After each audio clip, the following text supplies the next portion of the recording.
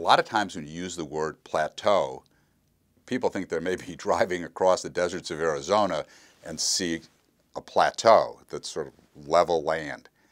And one of the questions comes up when you're having rehabilitation and things stop getting better.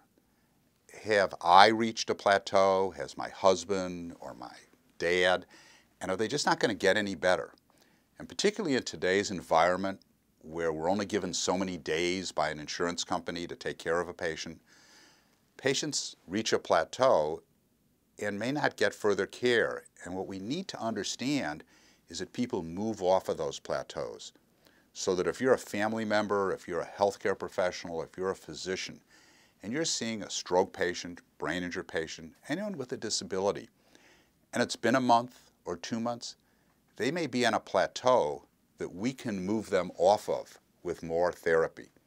So that just because someone has stopped getting better may mean that their therapy has stopped, but if we intervene again, we can move them off of that plateau.